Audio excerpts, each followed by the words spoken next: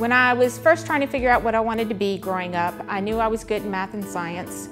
Um, and so engineering seemed to fit. And when I started to look into it, environmental engineering sounded interesting and, and I, it really sounded like I might could impact the world and make the things around me um, better. I was born and raised in South Louisiana, just south of Baton Rouge. Uh, I attended Louisiana State University and received my bachelor's degree in environmental engineering and I've worked with MWH ever since.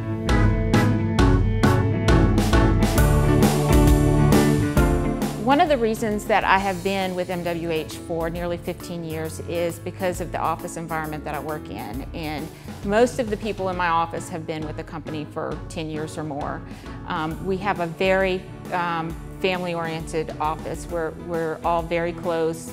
Um, we all are, you know, know each other's spouses and kids, and, um, and we work very closely together.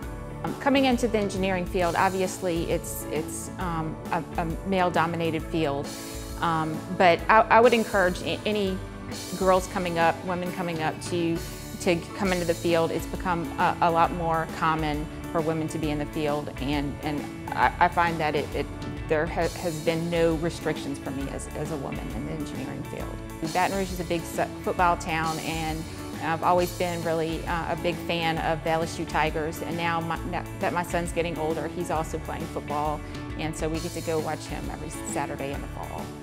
My name is Sparkle Noble and I'm an environmental engineer with MWH. Go Tigers!